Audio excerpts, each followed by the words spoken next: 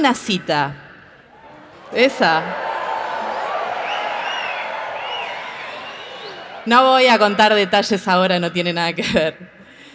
Pero fue horrible, fue horrible. La cosa arrancó más o menos así. Él, él me preguntó, che, ¿y vos a qué te dedicas? Bueno, mira, yo soy investigadora de CONICET, soy científica y actualmente me encuentro trabajando en el estudio y desarrollo de formulaciones liposomales que encapsulen mucolíticos para el tratamiento de enfermedades pulmonares tanto crónicas como agudas.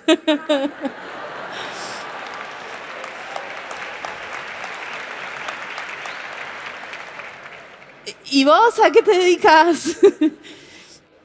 no me llamó nunca más, ¿puedes creer?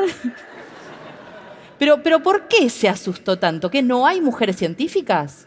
Hay, y hay un montón, pero pareciera ser que por cada mujer científica famosa que todos conocemos, hay muchos más hombres científicos famosos que todos conocemos. Mujeres científicas hay, pero pareciera ser que los hombres llegan más lejos. ¿Y por qué pasa esto?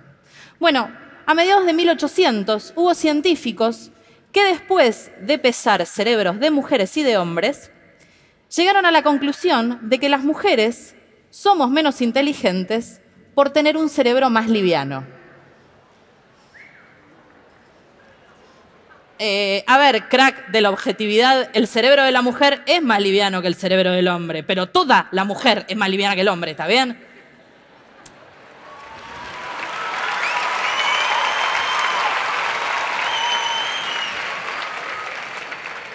Justo yo no mucho, pero no importa.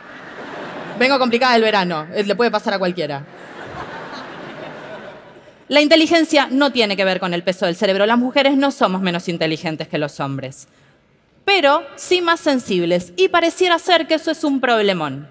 Hace poco, un científico que se llama Tim Hunt, que le dieron un premio Nobel, ¿eh? él dijo lo siguiente. No es conveniente que hombres y mujeres trabajen juntos en un laboratorio porque Tres cosas ocurren cuando hay mujeres. Primero, te enamoras de ellas. No lo voy a poner en duda, soy bastante adorable. Segundo, ellas se enamoran de vos. Tercero, si las críticas, lloran. No me voy a detener en el tercer punto porque ya me genera bastante violencia. Pero vamos al segundo punto. Ellas se enamoran de vos. Este es Tim Hunt.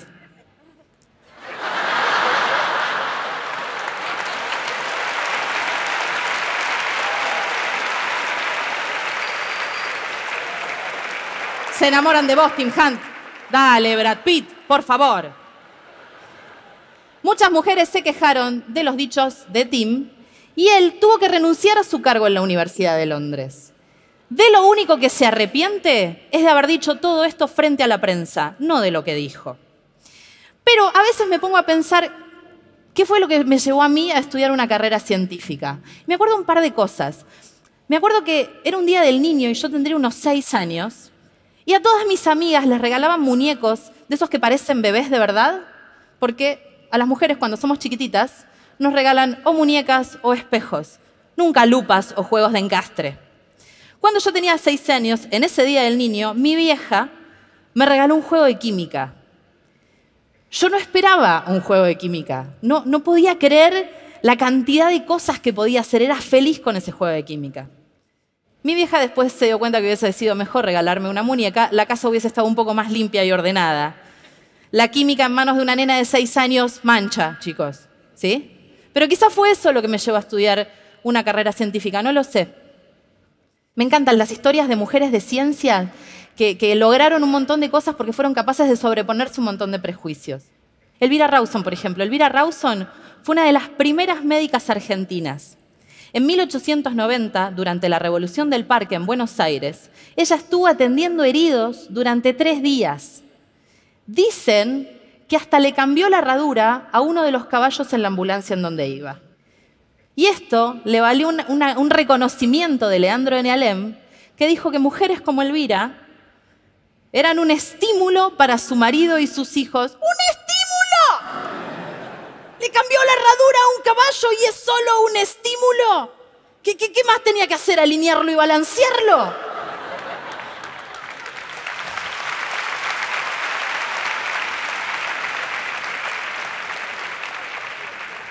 Me encantan las historias, hay un montón de mujeres de ciencia que tienen historias geniales. Igual, ojo, Leandro N. era una de las mentes más abiertas de la época. ¿eh? Lo que dijo Elvira fue realmente un halago. Había gente peor.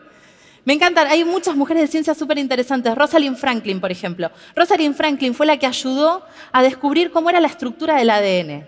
Y este descubrimiento valió un Nobel, que no le dieron a Rosalind, obviamente, sino a tres científicos llamados James Watson, Francis Crick y Maurice Wilkins. La cosa fue así. Rosalind fue la que le sacó la foto a la molécula, de ADN. Y ojo, esto no es algo fácil de hacer, ¿eh? No, no, es que vos te parás frente a la molécula de ADN y con decisión le decís, quieta, decí whisky. No. Es muy difícil, es una imagen muy difícil de, de obtener y muy difícil de analizar. Y se hace con rayos X. Rosalind obtuvo esta imagen y parece que Wilkins se la robó y se la llevó a sus amigos Watson y Crick. Ellos publicaron los resultados y para cuando les dieron el premio Nobel ni se acordaron de mencionar a Rosalind. Ella ya se había muerto antes de cáncer de ovario, probablemente causado por trabajar con rayos X y andar sacándole fotos a moléculas de ADN. Hoy, a la estructura del ADN se la conoce como doble hélice de Watson y Crick. Yo le digo doble hélice de Rosalind, ¿está bien?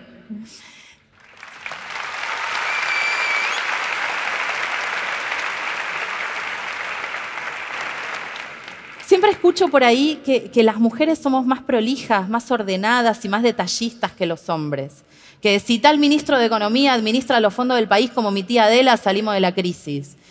Yo no sé si somos más prolijas, más detallistas y más ordenadas que los hombres. Lo que sí sé es que muchos laboratorios a muchas de nosotras nos usan de secretarias. Los hombres son los que tienen las grandes ideas. Nosotras parecería ser que somos buenas acompañando, pero que no somos buenos líderes medio raro. Cuando yo me recibí, mi mamá estaba feliz de tener una hija profesional, feliz. Y me regaló esto. Miren qué lindo, este trajecito negro, re hermoso. ¿No?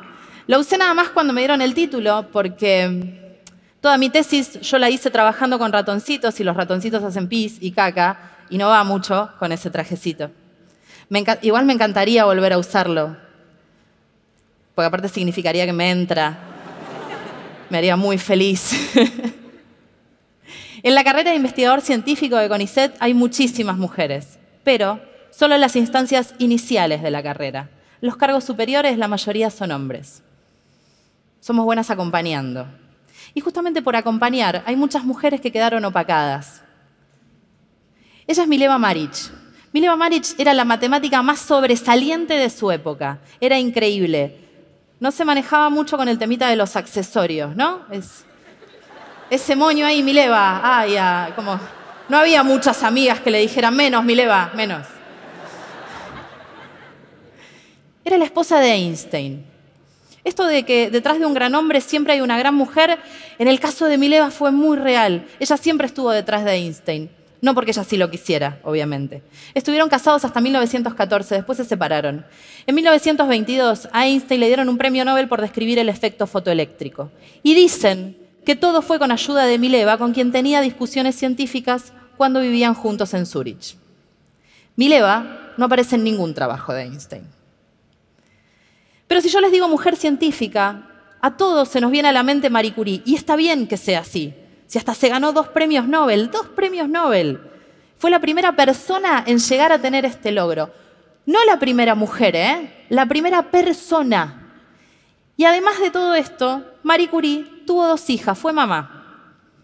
Ellas son las hijas de Marie Curie. Una es Yves y la otra es Irene. Yves nunca en su vida pisó un laboratorio de investigación. Irene era científica como la madre. ¿Cuál es cuál? Es obvio, ¿no? En aquella época la ciencia era todavía un terreno más de hombres. Entonces Irene tuvo que ser uno de ellos y se ve que le fue bastante bien. ¿eh? Einstein escribió en una carta que, que Irene parecía un granadero. Y ojo, Irene también se ganó un premio Nobel. para que dimensionemos, desde que se empezaron a entregar a la actualidad, se dieron alrededor de 900 premios Nobel. De esos 900, 50 nada más le dieron a mujeres. De esos 50, la gran mayoría son Premio Nobel de la Paz. Y solo 6 son de química y física. Y de esos 6, la mitad son de las mujeres Curie, dos de la madre y una de la hija. Qué difícil debe haber sido ser Curie, lo único. No te dieron Nobel, nada. Mamá, me saqué un 9 en química. Tu hermana se sacó un Nobel, no me sirve. Pero cualquiera pensaría que la ciencia es tan demandante que Irene no tenía tiempo para arreglarse. Pero yo creo que es al revés. Para ser creíble, Irene tenía que prestarle poca atención a su imagen. Para ser creíble, Irene tenía que parecer un hombre. Que quede claro, podemos ser líderes, sin duda que podemos ser líderes. Podemos ser Rosalind y Mileva siendo debidamente reconocidas y podemos ser Irene ganándonos un premio Nobel con los labios pintados. Si vos hoy le pedís a cualquier nene que, te dibuje una persona que trabaja en ciencia, seguro que te dibuja alguien mayor, con anteojos y hombre. Nunca una petiza medio gordita, rubia, que tiene malas citas. Pero yo no soy mayor, no soy mayor, no uso anteojos y no soy hombre, pero sí soy científica. Y esto no es contra los científicos, al menos no en contra de todos, pero sí a favor de nosotras las científicas que tenemos un montón de cosas para decir, porque nos podemos estar perdiendo de ideas. Imaginémonos qué hubiese pasado si Einstein, en lugar de escucharla a Mileva, la ignoraba y le pedía que le dé un café con leche.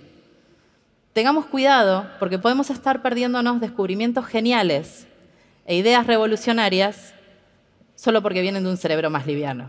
Gracias.